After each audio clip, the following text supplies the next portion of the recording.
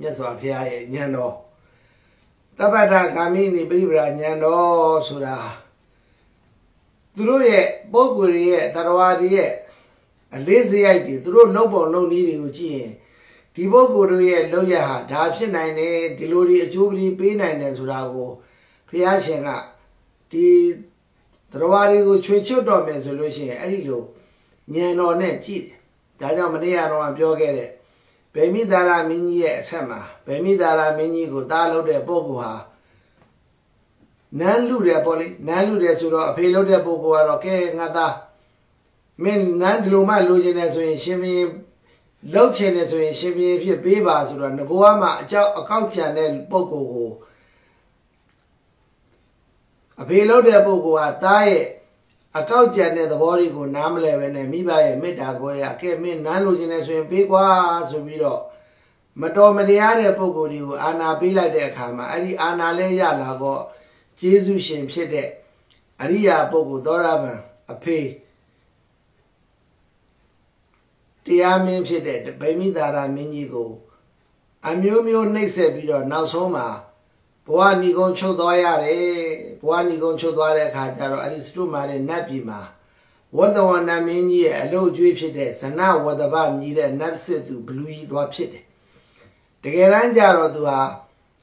သောရပန်လည်းဖြစ်တယ်အရိယပုဂ္ဂိုလ်ဖြစ်တဲ့အတွက်ကြောင့်တာဝရင်သာစတဲ့အထက်အထက်နတ်ပြည်တွေမှာတော့ဖြစ်နိုင်တာပေါ့သို့တော်လည်းပဲဘာကြောင့်မဖြစ်တဲ့ဆိုတဲ့အကြောင်းကိုထက္ကတာဆရာကချက်ပြထားတယ်ဗေမိသာရမင်းကြီး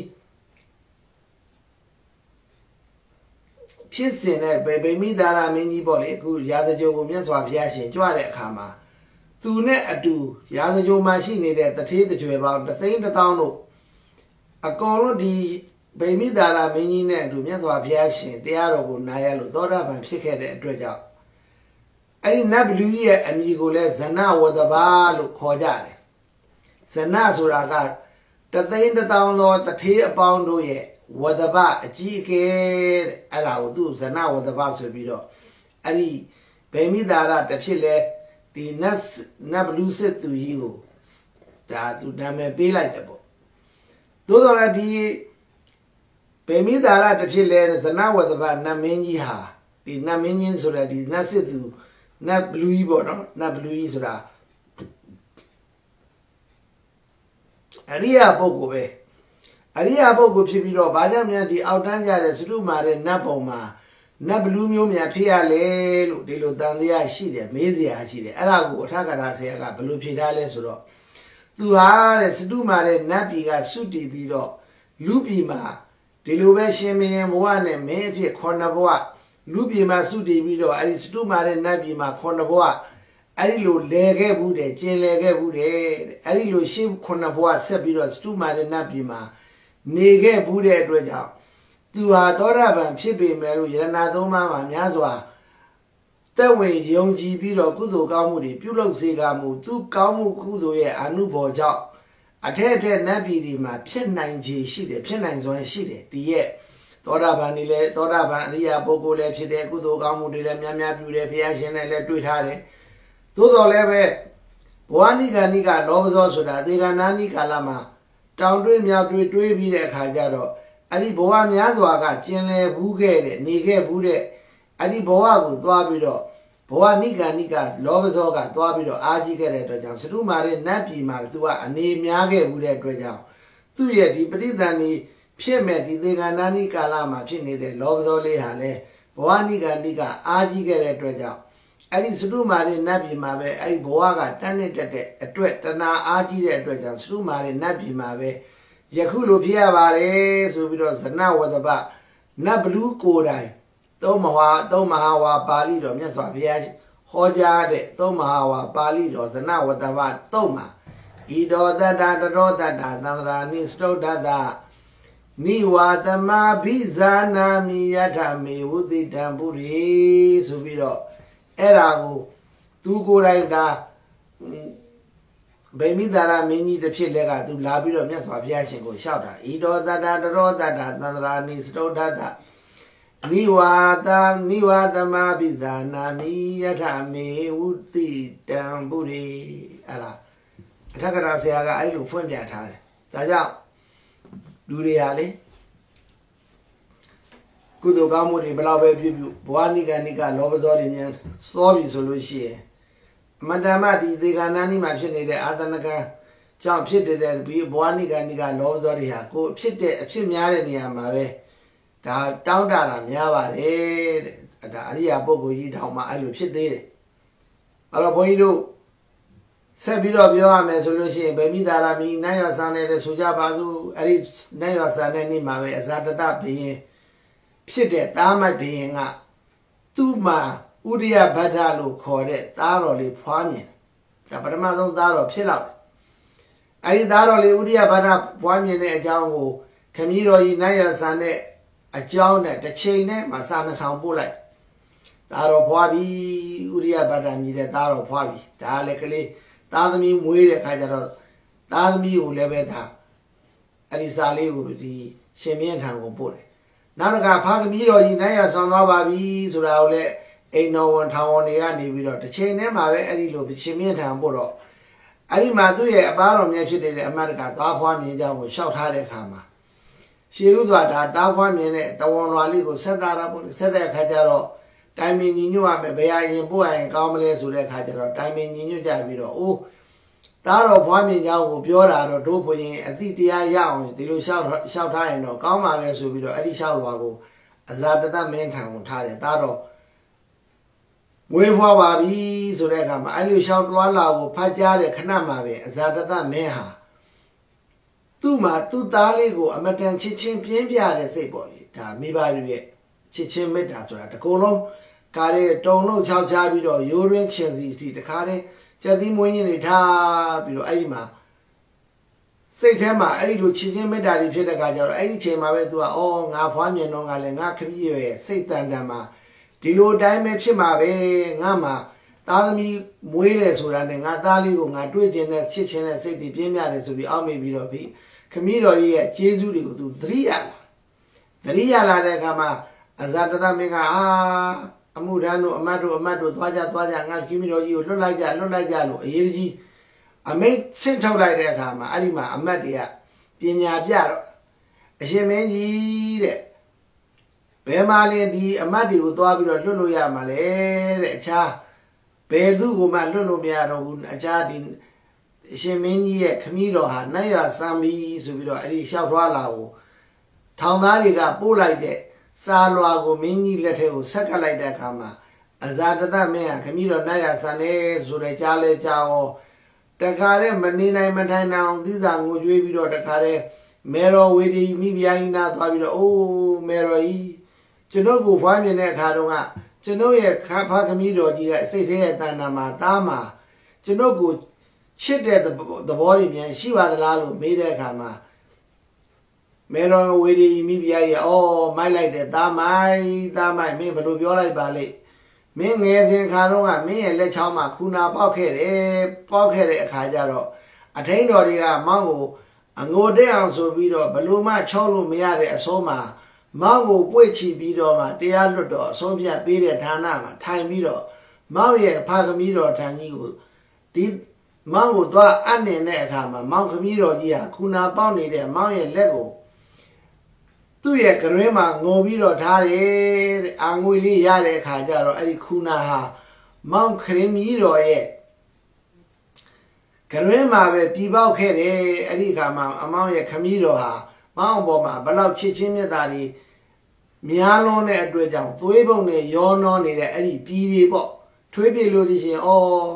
ငါသားလေးနိုးနိုးသွားပါလိမ့်မယ်ဆိုပြီးတော့အဲ့လိုမေတ္တာဇောနဲ့ထွေးပြတော်မမူမမီပဲမမူပဲနဲ့ မျိုးချလိုက်တယ်တဲ့မောင်ခမီးတော်အမောက်ပေါ်မှာအဲ့လောက်တောင်ချစ်ချတယ်ဆိုပြီးတော့ကားတဲ့အကျယ်တဝန့်ပြောပြီးတော့မိဖုရားကြီးငိုကြွေးတာပေါ့လေငိုကြွေးနေပြောတဲ့ခါကျတော့အဇာတသမင်းကလည်းမှားပြီငါတော့အမှားကြီးမှားပြီမှားပြီငါဖာခမီးတော်ကြီးကိုဒီလိုလောက်ကြံခဲ့လိုက်တာတော့နောင်တတွေရတယ်သီစာငိုကြွေးပြီးတော့ဖာခမီးတော်ရဲ့ဇာပနကိစ္စတွေကိုပြုအဲ့လိုပြုပြီးတော့မကြခင်မှာပဲရှင်ဒေဝရကဒီဇာတသမင်းသားထံသွားပြီးတော့ဇာတသမင်းသားကိုပြောတယ် ရှင်မင်းများတဲ့ယံဂေါရမကိုတတ်မဲ့ဒီမင်းချင်းယောက်ျားတွေကိုဆေလွတ်ပါလို့သူပြောလိုက်တယ်ပြောတဲ့အခါကျတော့ဇတတမင်းကမင်းသားကမင်းကြီးယောက်ျားတွေကိုခေါ်ပြီးဟေးအမှုရန်တို့အရှင်ဒေဝရပြောတဲ့အတိုင်းလှုပ်ပေးလိုက်ကွာမင်းတို့ကြည်ပြီးတော့သာလှုပ်ပေးလိုက်တော့ဆိုပြီးတော့မှာပြီးတော့ရှင်ဒေဝရထံလွတ်လိုက်ရှင်ဒေဝရထံလွတ်လိုက်တဲ့ကတော့ရှင်ဒေဝရကပထမယောက်ျားတရားကိုတကာသွားပါမင်းဒီဒီနေရာမှာ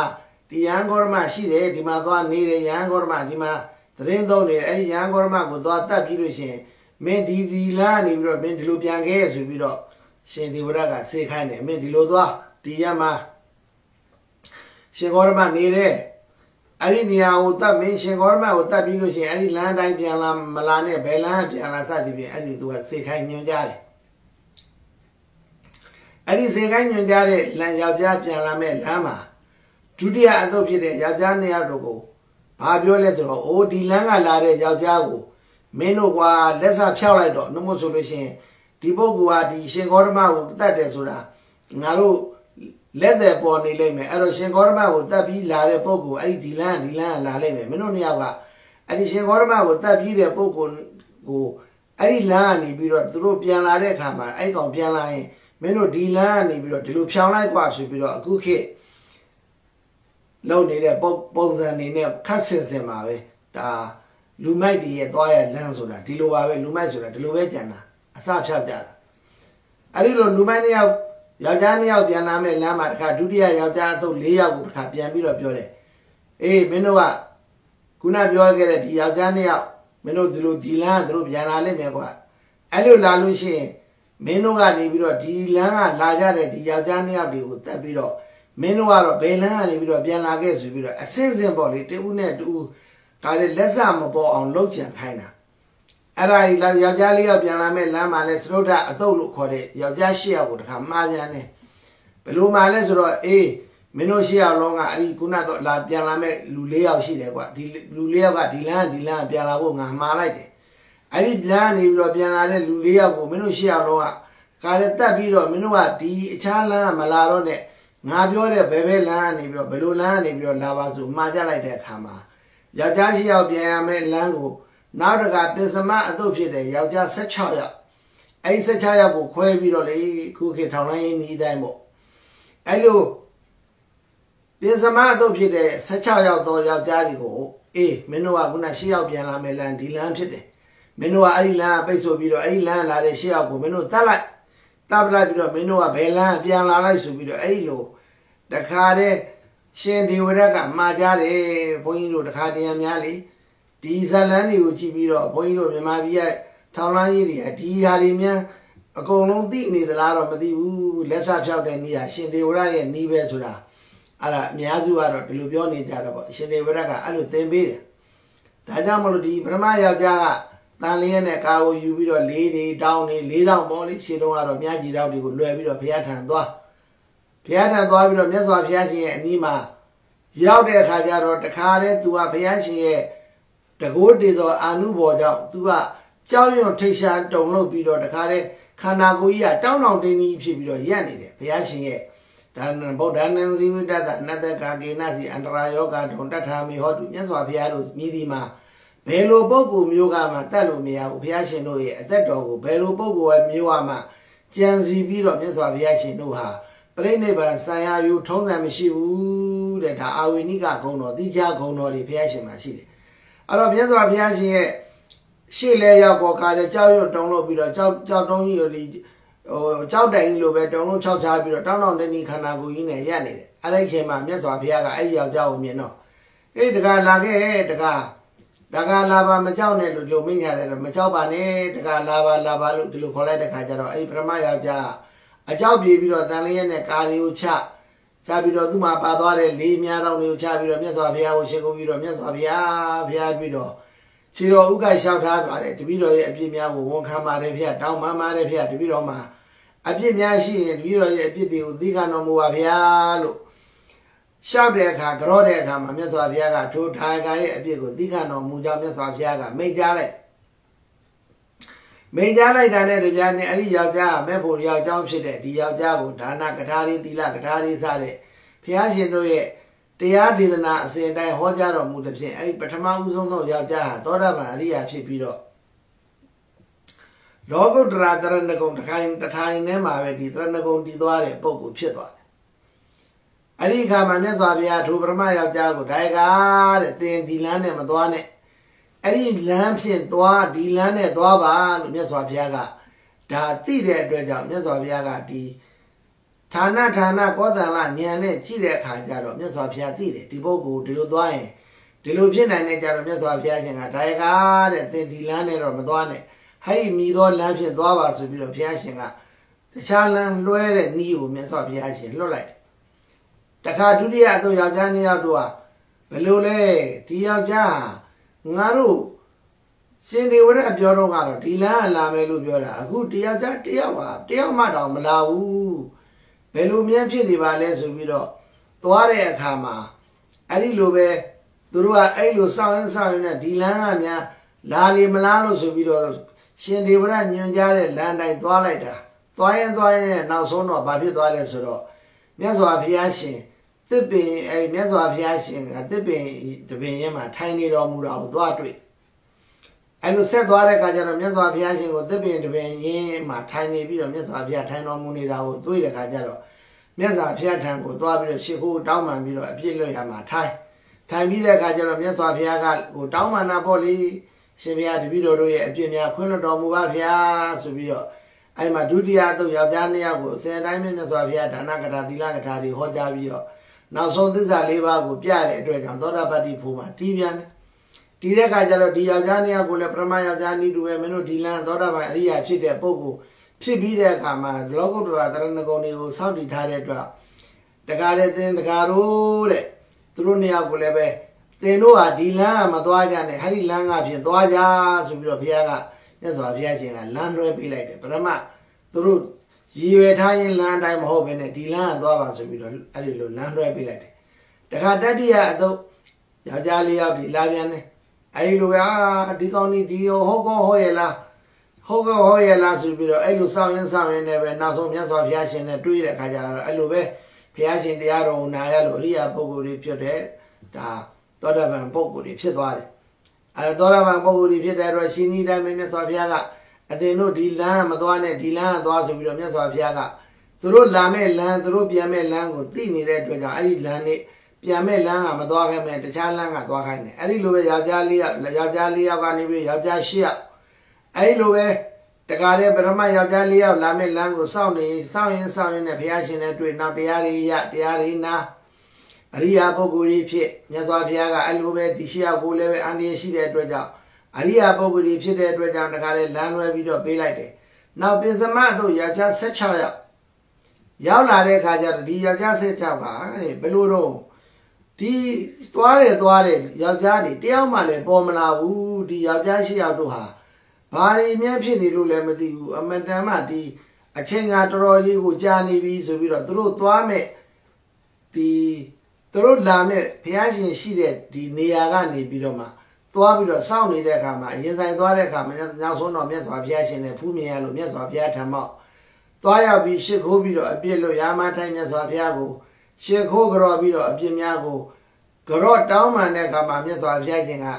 အဲ့ဒီမှာအဲ့ဒီယောက်ျား16ယောက်ကိုလည်းအစဉ်တိုင်းတရားဒေသနာတွေဟောလိုက်တဲ့အသစ္စာ၄ပါးပြလိုက်တဲ့အတွက်ကြောင့်သောတာပတ္တိဘုံမှာဖြစ်ပြီးသောတာပန်နေဖြစ်ဒီယောက်ျား16ယောက်တို့လည်းရှင်ဤတိုင်းတရဏဂုံခံယူဆောက်တည်ပြီးတဲ့အခါမှာယောက်ျား16ယောက်တို့ သင်္ဒါယကာတို့တဲ့သင်တို့ဒီဤဒေဝရလမ်းညွန်တဲ့လမ်းဖြင့်မသွားကြနဲ့ဒီလမ်းကသွားရင်သင်တို့ရဲ့အသက်တွေအသက်ချမ်းသာရမယ်ဆိုပြီးတော့ဒေဝရညွန်တဲ့လမ်းကိုမသွားခိုင်းမနဲ့အခြားလမ်းနဲ့သွားပြီးတော့လွတ်လိုက်အဲ့လိုလွတ်လိုက်တဲ့အခါကျတော့သူကပရမယောက်ျားကရှင်ဒေဝရထံချင်းကပ်ပြီးတော့ရှင်ဒေဝရကိုရှင်ဘုရားတဲ့ကျွန်ုပ်ဒီမြတ်စွာဘုရားကိုမတတ်နိုင်ပါဘူးတဲ့မြတ်စွာဘုရားဒီတကောအာနုဘောအမတန်ကြီးပါတယ်ဆိုပြီးတော့ပြောဆိုတယ်ရှင်ဒေဝရက တကားတော်ပြီတော်ပြီဆိုပြီးတော့စိတ်တွေဆိုတင်းဒီယဟန်ဂေါရမကိုမတတ်နဲ့တော့ငါဒီပင်ယဟန်ဂေါရမကိုတတ်မယ်ဆိုပြီးတော့စိတ်ဆိုးမှန်ဆိုးနဲ့မင်းတို့တတ်เสียမတတ်ရဲရဲမတတ်ကြနဲ့ကွာငါကိုယ်တိုင်တတ်မယ်ဆိုပြီးတော့အဲ့ဒီခါမှာသူကျင်းသွားတယ်ကျင်းသွားရုံနဲ့မကဘူးလူသားသမားတွေကအကုန်လုံးသောတာပတ္တိဖို့ရောက်ပြီးတော့သောရပန်နေဖြစ်ပြီးတဲ့နောက်တနေ့မှာတော့ကေရကုတ်ကေစကုတ်တောင်ရိပ်မှာမြတ်စွာဘုရားဆင်းညံကြွတော်မူ ူ လူလာခောက်ပြီးတော့ဈဉ္ဉံကြွနေကြွနေတဲ့အခါမှာအဲ့ဒီခေစကုတ်တောင်ထိပ်မှာခေစကုတ်တောင်ရဲ့ဒီတောင်ချေပေါ့အဲ့ဒီတောင်ချေမှာတောင်ရိပ်မှာပေါ့မြတ်စွာဘုရားကဇင်းညံကြွားပြီးတော့အဲ့ဒီလိုနေတဲ့အခါမှာရှင်ဒေဝရတ်ကခေစကုတ်တောင်ပေါ်ကိုတက်တက်ပြီးတော့ကြောက်တုံးကြီးဖြင့်ကလိမ့်ချပြီးတော့ဒီရန်ဂေါရမကိုတော့တတ်မယ်ဆိုပြီးတော့အဲ့ဒီမှာအညိုးနေနဲ့ တခါလေးကြံစီပြီးတော့ကြောက်တုံးကြီးကြီးကိုလိမ့်ချလိုက်တာကြောက်တုံးကြီးကြီးကိုလိမ့်ချလိုက်တဲ့အခါကျတော့အဲ့ဒီမှာတောင်တွတ်နှစ်ခုတွေရှိတယ်ကြောက်တုံးကြီးဟာတောင်တွတ်ဟိုဘက်တောင်ဒီဘက်တောင်တောင်အထွတ်လို့ခေါ်တဲ့ဒီလရနဲ့တူတဲ့ဒီတောင်တွတ်ကြီးနှစ်ခုကအလိုလိုလာပြီးတော့လိမ့်ကြလာပြီးတော့တခါလေးတွန်းလိုက်တဲ့အခါမှာကြောက်တုံးကို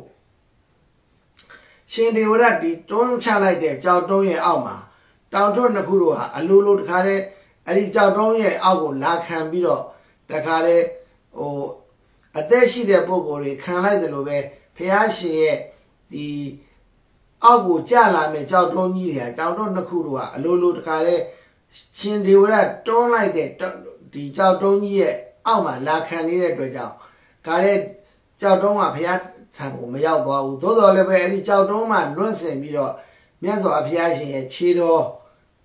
အမှသွေးစိမ့်တည်သွားတယ် ပဲ့ပြီးတော့ဒီထွက်သွားတာပေါ့အဲ့ဒီခါမှာမြတ်စွာဘုရားကိုအထက်ကမြတ်စွာဘုရားကအထက်ကိုမော့ကြည့်တဲ့ခါကျတော့ရှင်ဒေဝရတ်ကိုမြင်တယ်။အော်မေဖို့မှာအချင်းကြီးဖြစ်သွားပြီဒီပုဂ္ဂိုလ်ဟာအမတန်ကိုမှဘယ်လိုကုသိုလ်မျိုးပြုပြုဒီပုဂ္ဂိုလ်ဟာသူ့ရဲ့လောက်ရက်ကိုကြည့်တော့အပြင်ငရဲသွားမဲ့ပုဂ္ဂိုလ်ပဲမဖို့မှအချင်းကြီးဖြစ်သွားပြီဒီယောက်ျားသင်ဒီပြမလို့သောစိတ်ဖြင့်တက်လို့တော့စိတ်ဖြင့် ငါဗျာအားသွေးသိမ့်တီအောင်သင်ပြုတယ်ဒါကြောင့်မလို့သင်ဟာများစွာသောမကောင်းမှုကိုသင်ပြုပြီးပြီဆိုပြီးတော့မြတ်စွာဘုရားကမိန့်တယ်အဲ့ဒီခါမှာ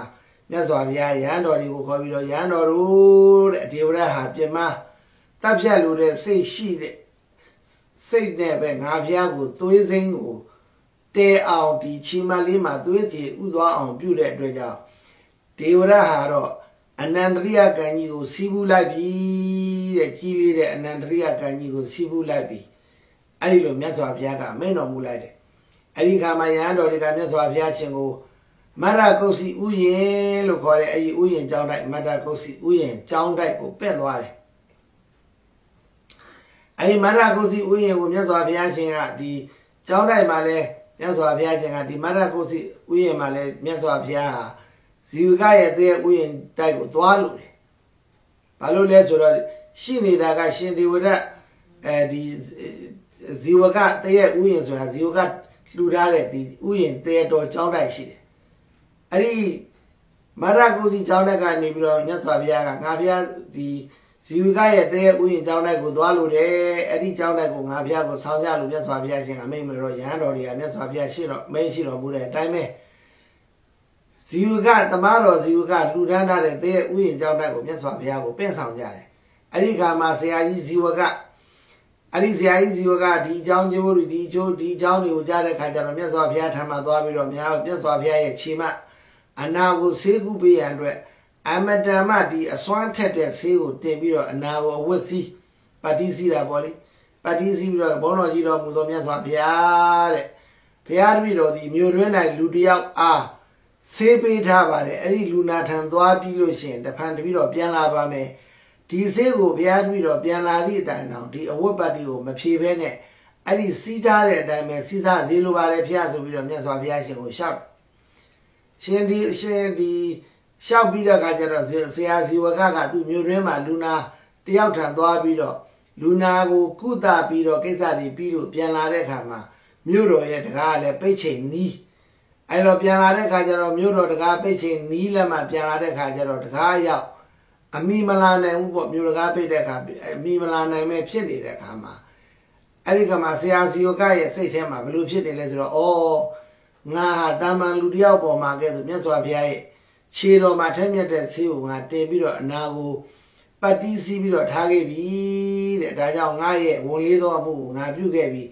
ဒီအချိန်ကဆေးဝတ်ကိုဖြေရမယ့်အချိန်ဖြစ်တယ်ဒီဆေးဝတ်ကိုမဖြေလို့ရှိရင်တညလုံးလုံးမြတ်စွာဘုရားရဲ့ခန္ဓာကိုယ်တော်မှာပြင်းစွာပူလောင်ပြီးတော့ဒီဒီဆေးရဲ့အနာကြောင့်မြတ်စွာဘုရားရှင်မှာပူလောင်ခြင်းယောဂဝေဒနာတော့ဖြစ်ချင်းမဲဖြစ်မှာပဲဆိုပြီးတော့စိတ်ထဲမှာပူပန်ပြီးတော့အဲ့ဒီလိုဖြစ်နေတဲ့ခါမှာမြတ်စွာဘုရားကအဲ့ဒီအချိန်ခါမှာမြတ်စွာဘုရားကအရှင်အနန္ဒာမထေရကိုပြီးခြေသားအနန္ဒာတဲ့ဆရာဇီဝကမိုးချုပ်မှပြန်လာ တဲ့အတွက်ကြောင့်တကားအရောက်မှအမိမလာနိုင်မဲနဲ့ဖြစ်နေတယ်အဲ့ဒီချိန်အခါမှာအနာကိုအဝတ်ပတ်တီးဖြေးရမယ်အချိန်ပဲလို့သူစိတ်ထဲမှာလဲပူပန်နေတယ်တဲ့จิตာအာနန္ဒာငါဘုရားရဲ့ခြေတော်မှာစီးထားတဲ့ဒီအဝတ်ကိုဖြေးလိုက်ဆိုတော့ပတ်တီးကိုဖြေးခိုင်းတယ်အရှင်အာနန္ဒာမထေရကမြတ်စွာဘုရားအမိန့်ရှိတော်မူတဲ့အတိုင်းအဝတ်ပတ်တီးကိုဖြေးလိုက်တယ်အနာမဒီအနာဟာဒီလိုပတ်တီးလေးလဲဖြေးလဲဖြေးလိုက်တော့တစ်ပင်မှဒီ တစ်ခွန်ပမှာကင်းကွာပြီးတော့ပျောက်ရှင်းသွားတယ်တဲ့ဆရာဇီဝကမြို့တကာဖွင့်ပွင့်ခြင်းမနဲ့အာယုံလင်းတဲ့အခါမှာမြတ်စွာဘုရားထံသို့လင်းမြန်စွာသွားပြီးဘုန်းတော်ကြီးတော်မူသောမြတ်စွာဘုရားဘယ်နဲ့နေပါတလဲဖျားပေါ့လေရှင်ဘုရားညာက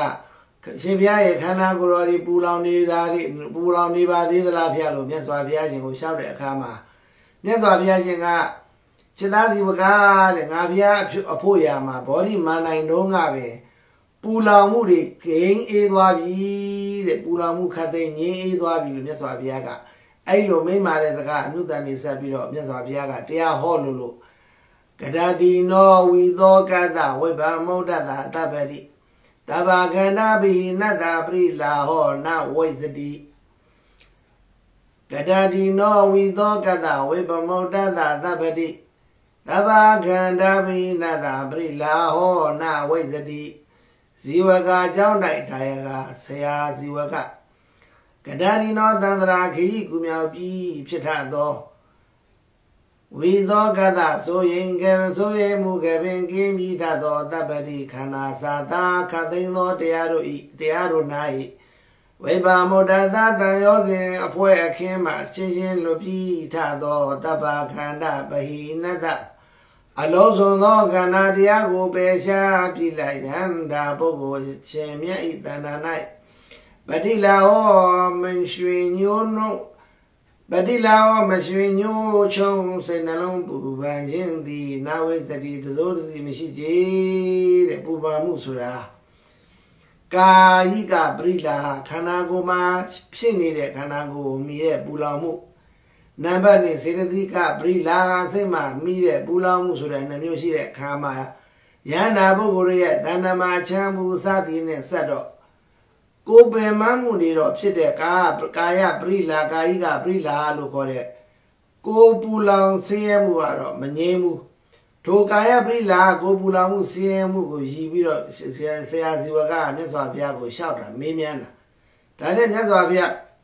ကတော့ဓမ္မရဖြစ်တော်မူတဲ့အတိုင်း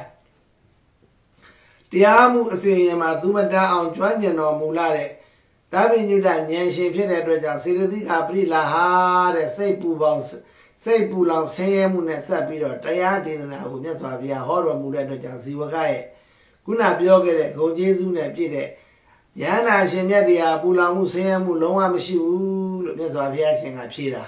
ဇီဝကကခန္ဓာကိုယ်ပင်မမှုရှိမရှိမေးတာကိုမြတ်စွာဘုရားရှင်က စိတ်ပင်မမှုမရှိကြောင်းဖြေဆိုတာဒါမြတ်စွာဘုရားရှင်တို့အဲဒီလိုတရားဟောပြီးတဲ့အဆုံးမှာသရဝါတွေအားလုံးတရားနာပုဂ္ဂိုလ်တွေအားလုံးသောတာပတ္တိဖို့မှာရောက်ကြပါတယ်ဒါကြောင့်ဘုရားရှင်ရဲ့တရားဟောနည်းတွေဟာအမတန်မှသရဝါတွေကိုတရားဟောတဲ့အခါမှာဒီတရားဟောလို့ရှိရင်ဒီလိုအသိဉာဏ်ကြီးရနိုင်တယ်ဆိုတာဘုရားရှင်ရဲ့ဒါဉာဏ်တော်ပါပဲဒါရင်လားလို့ဆိုတော့မဟုတ်မြတ်စွာဘုရား ကိုရှမ်းတော်တွေကအဲ့ဒီလိုဖြစ်ပြီးတဲ့အခါကျတော့ဒါလည်းဘုရားရှင်ကိုအမတန်ဆောက်ရှောက်ကြတဲ့အခါမှာဒေဝရကမြတ်စွာဘုရားတတ်ရန်အာထုတ်တဲ့အာထုတ်တဲ့ဆိုတဲ့စကားကိုယဟန်မိကနေပြီးမှတစ်ဆက်ဘုရားရှင်သတင်းတော်တော်မူတာကျောင်းတော်ရဲ့ပတ်ဝန်းကျင်အကုန်လုံးအထက်ထက်ရရမှာတခါတဲ့ရာဇဂိုတစ်မျိုးလုံးနေတာမကပြင်းစွာတခါတဲ့အတန်ကြီးဖြစ်စာပေတရားစာပေယုံအန္တရာယ်မှုတွေပြုတဲ့ ရဟန်းတော်ရမှာတစ်ဆင့်ဒီလိုပြုလိုက်တဲ့အခါမှာမြတ်စွာဘုရားအတွက်ဆောင်းရှောက်မှုကာကွယ်မှုလုံခြုံမှုတွေပြုလို့ရန်ဖို့တွေမြတ်စွာဘုရားလူလာခောက်ပြန်ဈဉ္ဉံကြွနေတဲ့အခါမှာအဲ့ဒီယဟန်တော်တွေဟာဘာလို့လာလဲဆိုတော့ဒီရဲ့ပတ်ဝန်းကျင်မှာကာယတရားစာပေယုံအမှုတွေပြုတယ်မြတ်စွာဘုရားအတွက်ဆောင်းရှောက်မှုကာကွယ်မှုလုံခြုံမှုတွေပြုလုပ်ကြရန်ကားတဲ့အဲ့ဒီလိုပြောကြတဲ့အခါကျတော့မြတ်စွာဘုရားကအဲ့ဒီအတန်ကိုကြားတယ်သိတော်မူတယ်သိတော်မူတဲ့အခါကျတော့အရှင်အာနန္ဒာကိုမေးတယ် အာနန္ဒာကိုမေးတဲ့အခါကျတော့အရှင်အာနန္ဒာကမြတ်စွာဘုရားရဲ့ရှင်ရဲ့အသက်တွေကိုကာကွယ်ဖို့ရန်အတွက်အဲ့ဒီရဟန်းတော်တွေကစာပေရွတ်အန္တရာယ်စေပြီးတော့အဲ့ဒီလိုလူတာခောက်ပြန်ကာကွယ်မှုတွေလုံခြုံမှုတွေပြုပြီးတော့ဈဉ္ညာသွားနေကြပါတယ်ဗျာလို့မြတ်စွာဘုရားရှင်ကိုရှောက်တဲ့အခါမှာအထိုရဟန်းတွေကိုမြတ်စွာဘုရားကရှေ့မောင်မှာခေါ်ပြီးတော့အာဒနာမေတံဘိကဝေနောအခါသောယံပရုပကမေန တရဂတံဇိဝဒာဟောရောပိယအနုပကမေနဘိကဝေတရဂတာပိနိဗ္ဗာယံတိဒီစကားလေးပြောတယ်ဒီစကားကိုပြောတယ်အာဒနာမေတံဘိကဝေအနောအခါသောယံပရုပကမေနတရဂတံဇိဝဒာဟောရောပိယအနုဘဂမေနာဘေကဝေတထာဂတာပြိနိဗ္ဗာယံတိယံတော်ရူယံတော်ယံတော်မြတ်အိုခြေသားတို့သူတစ်ပါးလုံးလာဖြင့်မြတ်စွာဘုရားကိုတတ်နိုင်ရာသောအကြောင်းအခွင့်လုံးဝမရှိပါ ယံတော်ရူတဲ့မြတ်စွာဘုရားတို့မြည်သည်သူတစ်ပါးကလုံးလာမပြည့်ရပဲနဲ့ပြိဋိဘံစာယုထုံးစံမှာရှိပါ၏လို့မြတ်စွာဘုရားရှင်ကအဲ့ဒီလိုမိန့်တယ်ဒါကြောင့်ဘုန်းကြီးတို့အသက်ကာကွယ်စည်းဆိုပြီးတော့အခုခေတ်လူများတွေကအဲ့ဓာတွေကိုရွတ်ကြတယ်ဘလို့ရွတ်လဲအထာဏမေတံဘိခဝေအနောဝခါသော ယံပရုပကမေနာတရာတံဇိဝတာရောဗျာနုပကမေနာဘိခဝေတတာတာပရိနိဗ္ဗာယံတိဣဒေနာသစ္စာဝဇိနာသုတိမေဟောတုတဗ္ဗရာဆိုပြီးအဲ့ဓာလေးဆက်ပြီးတော့သစ္စာဆိုကြတယ်အထာဏမေတံဘိခဝေဆိုတဲ့ဒီဇာလေးဟာမြတ်စွာဘုရားရဲ့အာဝေနိကဂုဏ်တော်ထဲမှာပါတဲ့အတနာမေတံဘေကဝေနောကသောယံပရုပကမေနာတရာတံဇိဝတာရောဘေယအနုဘကမေနဘေကဝေတထာတာပိနိဗ္ဗာယံတိ ဧတေနသစ္စာဝဇေနာဧဝမေဟောတုဧတေနသစ္စာဝဇေနာသုတိမေဟောတုတဗ္ဗရာမြတ်စွာဘုရားတို့ရဲ့သက်တော်ကိုဘယ်လိုပုဂ္ဂိုလ်မျိုးကမှတတ်နိုင်စွမ်းအခွင့်လုံးဝမရှိဘူးတတ်ဖို့ရန်အခွင့်လည်းမရှိဘူးမြတ်စွာဘုရားတို့မြည်ဒီမှာသူတစ်ပါးလုံးလာဖြင့်ပြိဋိဘံဆံရယုထုံးစံမရှိဘူးဤမှန်ကန်တဲ့သစ္စာစကားကိုဆိုရခြင်းကြောင့်ငါတို့လည်း သူတစ်ပါးရဲ့လက်ချက်နဲ့အသက်သေးခြင်းမှာကင်မအားစေငါတို့လည်းပဲမြတ်စွာဘုရားရှင်လို့ပဲသူတစ်ပါးတို့ရဲ့လှုပ်ကြံခြင်းကြံစည်ခြင်းမတရားပြုခြင်းမှာလွတ်မြောက်ပါစေလို့အဲ့ဒီလိုသစ္စာဆိုတာဒါသစ္စာစကားပဲဒါကြောင့်ဒီကနေ့မြန်မာနိုင်ငံမှာအခုကျောင်းသားတွေပြည်သူလူထုတွေအားလုံးပုဂ္ဂိုလ်မျိုးတွေကအန္တရာယ်မျိုးမျိုးနဲ့တွေ့ကြုံမယ်ဟဲ့ဒီမြတ်စွာဘုရားရှင်ရဲ့ဒီအနဝကာသအဋ္ဌနာမေတ္တာအနဝကာသဆိုတဲ့ ဒီစကလုံးလေးကိုဘုရားရှင်ကိုတိုင်တယ်ပြီးတော့ကိုယ့်ကိုယ်ကိုအန္တရာယ်ကင်းအောင်ရွတ်ဆိုမယ်ဆိုရင်အကျိုးရှိနိုင်တယ်အဋ္ဌနာမေတ္တာဘေကဝေနဝကာသောယံပရုပကမေနာတရတံဇိဝတာဟောရောဘုရားအနုပကမေနာဘေကဝေတထာတာပိနိဗ္ဗာယန္တိဧတေနာသစ္စာဝဇေနာအေယမေဟောတုဧတေနာသစ္စာဝဇေနာသူပိမေဟောတုသဗ္ဗရာဒါသစ္စာစကားပဲအဲဒီလိုမြတ်စွာဘုရားကမိမ့်မာပြီးတဲ့အခါမှာ ရှင်မာမောက္ကလံကိုပေါ့လေဟောတဲ့အတိုင်းပဲရှင်မာမောက္ကလံကိုမြတ်စွာဘုရားရှင်ကဟောတဲ့အတိုင်းလောကမှာဆရာ၅မျိုးရှိတယ်တဲ့မြတ်စွာဘုရားရှင်ကဟိုရှင်မာမောက္ကလံကိုမြတ်စွာဘုရားရှင်ဟောတဲ့အတိုင်းပဲဆရာ၅မျိုးရှိတယ်အဲ့ဒီဆရာ၅မျိုးဆိုတာဆရာ၅မျိုးတို့ကိုသာလည်းတပည့်တို့ကစောက်ရှောက်ရန်လိုအပ်တယ်တဲ့ထိုဆရာ၅မျိုးတို့ကသာလည်းတပည့်တို့ရဲ့အဆောက်အအုံတွေကိုလိုလားတောင်းတတယ် လိုလားတောင်းတတယ်ငါကိုရောမြတ်မှာတော့အမှန်တကယ်ပင်စင်ကြဲတဲ့နော်ကိုရောမြတ်မှာမှုအမှန်တကယ်စင်ကြဲတဲ့သီလလည်းရှိတယ်စင်ကြဲတဲ့အသက်မွေးမှုလည်းရှိတယ်စင်ကြဲတဲ့တရားဟောခြင်းလည်းရှိတယ်စင်ကြဲတဲ့ပြောဆိုခြင်းလည်းရှိတယ်စင်ကြဲတဲ့ဉာဏ်မြင်ရှိတော်မူတဲ့အတွက်ကြောင့်စင်ကြဲသောသီလရှိတယ်လို့ဝန်ခံတော်မူကြောင်းစင်ကြဲတဲ့အသက်မွေးမှုရှိတယ်လို့ဝန်ခံကြောင်းစင်ကြဲတဲ့အသက်မွေးမှုရှိတယ်လို့ဝန်ခံကြောင်းစင်ကြဲတဲ့ တရားဟောခြင်းရှိတယ်လို့ဝန်ခံကြောင့်စီရင်ကျဲတဲ့ပြောဆိုခြင်းရှိတယ်လို့ဝန်ခံကြောင့်စင်ကျဲတဲ့ဉာဏ်မြင်ရှိတယ်လို့ဝန်ခံကြောင်းဒါကြောင့်မလို့တပည့်တွေရဆောက်ရှောက်ဆရာမလိုဘူးတဲ့ငါကိုယ်တော်မြတ်ဟာတပည့်တို့ရဲ့အဆောက်ရှောက်ကိုလိုလားတောင်းတာတော့မမို့ဘူးသူတစ်ပါးတို့ရဲ့လုံလာပြင်မြတ်စွာဘုရားကိုတတ်နိုင်တဲ့အခွင့်အကြောင်းလုံးဝမရှိဘူးတဲ့သူတစ်ပါးတို့လုံလာမပြရဘဲနဲ့မြတ်စွာဘုရားတို့မြည်ဒီမှာဓမ္မတာအဖြစ် ပြိဋိဘံဆံရတော်မူကြောင်းတို့ကိုမြတ်စွာဘုရားရှင်ကယဟန်တို့ကိုယဟန်တို့သင်တို့သည်မိမိတို့နေမြဲကြောင်းမိမိတို့မှာအာထုမြဲနေတဲ့နေရာတွေကိုသွားကြရန်တော်တို့တဲ့ငါဘုရားပုဂ္ဂိုလ်တို့သည်မြတ်စွာဘုရားတို့သည်သူတော်ဘာဆောက်ရှောက်မှုအသက်ဘေးလုံးကျုံမဲ့အသက်ဘေးသူတော်ဘာဆောက်ရှောက်မှအသက်ဘေးလုံးကျုံမဲ့ပုဂ္ဂိုလ်တွေမဟုတ်ကြဘူးဆိုပြီးတော့မြတ်စွာဘုရားရှင်ကရဟန်းတော်တွေကိုတရားဟောပြီးတော့ပြန်လွတ်တယ်တဲ့ဆောက်ရှောက်ရမယ် တပည့်နဲ့စောက်ရှောက်ရမယ်ဆရာဆိုတာဟာသီလာလဲအဲ့ဒီပုဂ္ဂိုလ်တွေဟာငါတို့ဟာလောကမှာဆရာ၅မျိုးနဲ့ဆရာ၅မျိုးရဲ့တပည့်၅မျိုးကိုစောက်ရှောက်တဲ့အကြောင်းတွေဟာအဲ့ဒီဆရာတွေကသီလာလည်းမစင်ကြဲဘူးအသက်မွေးမှုလည်းမစင်ကြဲဘူးတရားဟောတာလည်းမစင်ကြဲဘူးပြောတာဆိုတာလည်းမစင်ကြဲဘူးဉာဏ်မြင်လည်းမစင်ကြဲဘူးအဲ့ဒီလိုဉာဏ်မြင်မစင်ကြဲတဲ့အတွက်ကြောင့်အဲ့ဒီပုဂ္ဂိုလ်တွေလို့အဲ့ဒီဆရာတွေကိုတော့စောက်ရှောက်ဖို့လိုတယ်တဲ့တပည့်တွေက ငါဘုရားမှာတော့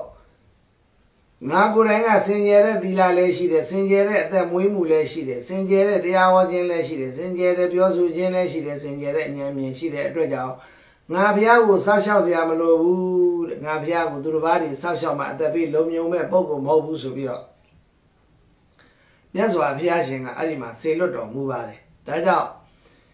ဒီတရားလေးဟာသစ္စာတရားလေးတွေပါပဲဒါကြောင့်မြတ်စွာဘုရားရှင်ရဲ့ဒီ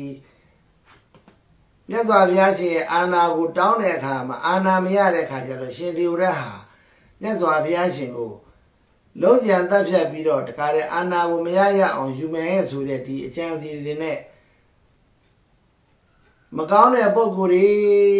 အကြံဉာဏ်တွေယူပြီးတော့အဲ့လိုအားထုတ်တာနောက်ဆုံးမအောင်မြင်ပါဘူးဒါမနေ့ပြန်ကြတော့မှဘုန်းကြီးများဟန္တဇဟန္တဇထာကရာမှာလာတဲ့ နာရာဂီရိစင်ကြီးလို့နာရာဂီရိစင်ကြီးပေါ့နော်အဲ့ဒီနာရာဂီရိစင်ကြီးကိုဆေလွတ်ပြီးတော့မှတတ်တဲ့အကြောင်းဝိနီးစုလဝါတန်ကဘေကခန္ဓကမှာလည်းပဲရှိတယ်အတိတိနိဗ္ဗာသုလဟန္တဇထကရာမှာလည်းရှိတယ်အဲ့ဒီသုလဟန္တဇအကြောင်းလေးကိုဘုန်းကြီးတို့မနေ့ပြန်ကြတော့ဟောမယ်ပေါ့ဒီနာနာရာဂီရိစင်ကြီးကိုလွတ်ထားလွတ်ပြီးတော့ဒီဘုရားရှင်ကိုလွတ်ကြံခိုင်းတာเนาะဒါကြောင့်ဒီကနေ့မှာတော့ အားလုံးသောတရားဓမ္မတွေသိကြတဲ့အတိုင်းပဲဘုရားရှင်ကိုဘုရားရှင်ကိုဒီဘုရားရှင်မှာရှိနေတဲ့ဒီမြတ်စွာဘုရားရှင်ရဲ့ဒီအာနာတော်များကိုအာနာပေးလို့မရတဲ့ပုဂ္ဂိုလ်ဓမ္မမင်းအာနာနဲ့မသိတော်တဲ့ဒီရှင်ဒီဝရကမရရအောင်ယူဖို့အတွက်မတရားသောနည်းအားဖြင့်တောင်းခံနေတာဟာမြတ်စွာဘုရားရှင်ဟာအမတ္တမဒီသဗ္ဗညုတဉာဏ်နေလည်းရှိတဲ့ပုဂ္ဂိုလ်ရဲ့ အဇာတရားကိုလည်းကြည့်တယ်အဲ့ဒီပုဂ္ဂိုလ်ရဲ့လောက်ရဖြစ်တဲ့ပြိပရာဉာဏ်တော်ရင်းနဲ့ကြည့်တဲ့အခါကျတော့သဗ္ဗထဂာမိနီပฏิပရာဉာဏ်တော်နဲ့ကြည့်လိုက်တဲ့အခါမှာဒေဝရပေးလိုက်လို့ရှိရင်တော့ဒီဟာအကုန်လုံးဘုရားရှင်တို့တေမကဦးအာလုံးသောတရားဝါဒီဒုက္ခရောက်ကြမယ်ဆိုတာကိုသိတဲ့အခါကျတော့သူ့ရဲ့လောက်ရကိုကြည့်ပြီးဘုရားရှင်ကအဲ့ဒီလိုညင်းဆိုတာဒါကြောင့်မလို့ဒီလို ဖះဖြစ်ဖို့ဆိုတာလေပါရမီတွေကိုဖြည့်ကျက်ပြီးတော့မှဒီလိုဖះဖြစ်လာတာအလားအနဲ့ပြီးတော့ဖះဖြစ်လာတာမဟုတ်ဘူးဒါကြောင့်မလို့ तू ကဖះဖြစ်လို့တဲ့စိတ်နဲ့ तू ကလည်းရှင်ဒေဝရဟာမြတ်စွာဘုရားရှင်မှာရှိနေတဲ့ယာရုအာနာတွေကို तू တောင်းတာတောင်းတဲ့အခါကျတော့မြတ်စွာဘုရားရှင်ကအဲ့ဒီလိုပဲသင်ဟာသူတစ်ပါးရဲ့တတွေးတွေကိုစားနေတဲ့ပုံကိုပဲဆိုပြီးတော့အနည်းနဲ့ကာကပေါ်လေအဲ့လိုတာဝေကဖြစ်အောင်ထိတ်လိုက်အောင်မြတ်စွာဘုရားရှင်ကပြောလိုက်လို့ तू မချေမနှက်ပဲနဲ့ဘုရားရှင်ကို ကာရကြံစီတော့တာပဲဒါကြောင့်မလို့ဒီမနာလိုခြင်းအိတ်တာနဲ့မစ္စရိယတရားဟာသူတစ်ပါးတွေကိုဖျက်ဆီးအောင်နေမကမိမိကိုလည်းဖျက်ဆီးတယ်ရှင်ဒေဝရမနာလိုခြင်းအိတ်တာနဲ့မစ္စရိယတရားနှစ်ပါးလွှမ်းမိုးသွားပြီဆိုရင်ဘယ်လိုပုဂ္ဂိုလ်မျိုးမှတားလို့မရတော့ဘူးတဲ့မကောင်းတာဟုသမျှအမြဲတမ်းကြံစီနေတော့တာပဲရှင်ဒေဝရလည်းပဲမြတ်စွာဘုရားပေါ်မှာအိတ်တာမစ္စရိယတစ်မျိုးတရားတွေလွှမ်းမိုးပြီးတော့ မြတ်စွာဘုရားကိုလောက်ကြံဖို့တတ်ဖြတ်ဖို့ရန်အတွက်အဲ့ဒီလိုဖြစ်နေတဲ့အတွက်ကြောင့်မြတ်စွာဘုရားကိုနီးရမျိုးမျိုးနဲ့ပဲမြတ်စွာဘုရားထံမှာတခါတည်းအဲမြတ်စွာဘုရားကိုတတ်ဖို့ရအတွက်အကြောင်းလေးကြံတာပေါ့အဲ့လိုကြံတဲ့အခါကျတော့နောက်ထုံးမအောင်မြင်ဘူးပဲပြောကြပါစို့နောက်ဆုံးမြတ်စွာဘုရားရှင်ကဒီဆရာစီဝကဆေးကုပေးလိုက်လို့မြတ်စွာဘုရားပုံမှန်နေတိုင်းပဂတိကျမ်းပါပြီးတော့အရှိတိုင်းပဲမြတ်စွာဘုရားရဟန်းပေါင်းခြံရံပြီးတော့ တင့်တယ်သောစံပေခြင်းဖြင့်မြတ်စွာဘုရားစံပေတော်မူတယ်တဲ့အဲ့ဒီခါမှာမြတ်စွာဘုရားရှင်ဖူးမြတ်စွာဘုရားရှင်ကိုဖူးမြင်ရတဲ့ရှင်ဒေဝရဟာဒီယံဂေါရမသူ့ကြည့်ရတာယူပကာယတင့်တယ်ခြင်းအထွတ်ထိပ်သို့ရောက်သောကိုတော်ကိုမြင်ရတဲ့အတွက်ကြောင့်လူဖြစ်သူတူဘယ်လိုပုံကိုယ်တွေဓမ္မညင်းဆဲတတ်ဖြတ်ဖို့ရန်အတွက်မလုံနိုင်ဘူးသူ့ရဲ့ရူပကာယရဲ့တင့်တယ်ခြင်းဟာအထွတ်ထိပ်ရောက်နေတဲ့အတွက်ကြောင့်သူ့ကိုမြင်လိုက်တဲ့ဆိုရင်အကုန်လုံးဖိမ့်ဖိမ့်တုံပြီးတော့ အဲ့ဒီလိုဖြစ်ကုန်ကြတဲ့အတွက်ကြောင့်လူတွေကတော့လုံနိုင်မှာမဟုတ်ဘူးဒါကြောင့်လူတွေမလုံနိုင်ဘူးဆိုရင်သတ္တဝါတွေကိုတေအသိဉာဏ်မရှိတဲ့ကောင်တွေကိုခိုင်းမှာပဲဆိုပြီးတော့အဲ့ဒီလိုကြံစီမှုတွေပြုလာတယ်အမတန်ကြောက်စရာကောင်းတယ်ဒီအကြောင်းလေးမနေ့ပြန်ကြတော့မှဘုန်းကြီးတို့ဆက်ဟောမယ်ပေါ့လေဒါအိတ်တာမစ္စရိယရဲ့အကျိုးဆက်တွေအာဟုသူတွေကိုတဏီမဟုတ်တဏီနဲ့ကြံစီနေတာဟာအမတန်ကြောက်စရာကောင်းတာပဲဒါကြောင့်မြတ်စွာဘုရားရှင်ရဲ့ပြိပရာဉာဏ်တော်ကြီးဟာအမတန်ချီးကျူးအံ့ဩ ကုံနိုင်ဝယ်မရှိလောက်အောင်နည်းနည်းခက်ခဲတဲ့ဉာဏ်တော်ကြီးဖြစ်ပါတယ်ဒါကြောင့်ဘုန်းကြီးများဒီကနေ့ရှင်ဒေဝရတ်ကိုမြတ်စွာဘုရားရှင်ကပြိပရာဉာဏ်တော်ဖြင့်ကြည့်တဲ့အတွက်ကြောင့်ဒီပုဂ္ဂိုလ်ဟာဒီလောက်ရတဲ့ကြောင့်အနန္တရိယကံကြီးတော့ထိုက်သွားပြီဘယ်လိုကုသိုလ်မျိုးပြုပြုဒီကုသိုလ်တွေကတော့မတားမြစ်နိုင်တော့ဘဲနဲ့နောက်ဆုံးဘယ်ရောက်မလဲဆိုရင်ငရဲရောက်မှာပဲဆိုပြီးတော့ရှင်ဒေဝရတ်ကိုအဲ့ဒါရှင်ဒေဝရတ်ကိုမြတ်စွာဘုရားရှင်နောက်ဆုံးဒီမှာဟောကြားတဲ့ဟာလေးတွေဘုန်းကြီးတို့လာပါလိမ့်မယ် ဒါကြောင့်အားလုံးသောတရားတော်မှာအပေါင်းသူတော်ကောင်းတို့ဟာအာဟုသူအမှုကိုပြုတဲ့ပုဂ္ဂိုလ်တွေဟာအာဟုသူအမှုတွေကိုတစ်ခုနဲ့မလုံးလောက်ရင်နှစ်ခုပြုမယ်နှစ်ခုနဲ့မလုံးလောက်ရင်သုံးခုပြုမယ်အထက်ထရာကပြုမယ်ဆိုရင်ဒီအာဟုသူတရားတွေဟာဘယ်သူမှပေးမှာမဟုတ်ဘူးကိုယ်ကိုယ်တိုင်ပဲခံစားရမှာပဲဖြစ်တဲ့အတွက်ကြောင့်အာဟုသူတရားများဟာအမတန်ကြောက်စရာကောင်းတယ်အကျိုးမပေးသေးတာတမ္ပတ္တိကာလနဲ့ဖြစ်တဲ့အဲဂတိကလည်းပဲလူဘဝဖြစ်နေသေးတယ်ဆိုရင်အကျိုးမပေးသေးဘူး သို့တော်ဝိပတ္တိကာလမြန်ဖြစ်ပြီဆိုရင်အကျိုးပေးပြီလို့အဲ့ဒါလေးတွေကိုတရားများနှလုံးသွင်းဆင်ခြင်နိုင်ကြပါစေတည်းဘောဓုတဗ္ဗမင်္ဂလာရခန္တုတဗ္ဗဒေဝတာတဗ္ဗဗုဒ္ဓ ानु ဘာဝေနတရာသုခိဘုံတုဒေဝတုတဗ္ဗမင်္ဂလာရခန္တုတဗ္ဗဒေဝတာတဗ္ဗဓမ္မာနုဘာဝေနတရာသုခိဘုံတုဒေဝတုတဗ္ဗမင်္ဂလာရခန္တုတဗ္ဗဒေဝတာ တဗ္ဗတံဃာနုဘာဝေနတရာတုခိဘုံတုတေတဗ္ဗမင်္ဂလာခတိသောပိဿုပ္ပံတန္တရာစီဝါချမ်းသာများခြင်းအကြောင်းကောင်းမြတ်သောတရားတော်နာမင်္ဂလာသည်ဘဝတုဖြစ်ပါစေတည်းတဗ္ဗဒေဝတာခတိကုံသောနတ်မြတ်နာကောင်းတာအပေါင်းတို့သည်ရခန္တုအစဉ်ဆောက်ရှောက်ကြပါစေကုန်သတည်းတဗ္ဗဗုဒ္ဓ ानु ဘာဝေနသခတိကုံသောဘုရားရှင်တို့၏ကုံတော်အနုဘောတော်ကြောင့်၎င်းတပ္ပဓမ္မအနုဘာဝေနသခတိကုံတော်တရားတော်တို့၏ကုံတော်အနုဘောတော်ကြောင့်၎င်း တပ္ပသံဃာနုဘာဝေနသခတိကုံတော်သံဃာတော်တို့၏ကုံတော်အနုဘောတော်ကြောင့်၎င်းဒေတုံမာကံတရားနာပရိသတ်ပေါင်းသူတော်ကောင်းတို့နှင့်တကွာသူအပြင်မြန်မာနိုင်ငံသူနိုင်ငံသားအပေါင်းသူတော်ကောင်းတို့နှင့်တကွာဤကဘာသူကဘာသာအပေါင်းသူတော်ကောင်းတို့အားရာခခတိဒုက္ခိကိုစိတ်နှပြချမ်းမာချမ်းသာခြင်းရှိကြကုန်သည်ဘဝတူဖြစ်ကြပါစေကုန်သတည်း